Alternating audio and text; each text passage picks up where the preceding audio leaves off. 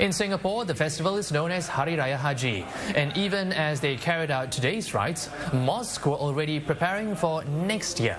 16 of them are undergoing two days of auditing, aimed at meeting strict new rules on the export of livestock from Australia, Singapore's main source of sheep for the Korban slaughter. 2,500 of the animals did arrive yesterday just in time for this year's event. But Minister in charge of Muslim Affairs, Yaacob Ibrahim, as well as Prime Minister Lee Hsien Loong, have both acknowledged that Australia might stop exporting livestock altogether because of animal welfare concerns.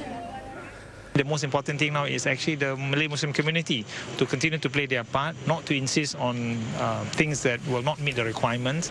I think you have to try and conform as much as possible to the rules and regulations that we have been imposed upon us. By doing so, by assuring the Australian authority that we meet their requirements, we will continue to give assurance that we can do this in future.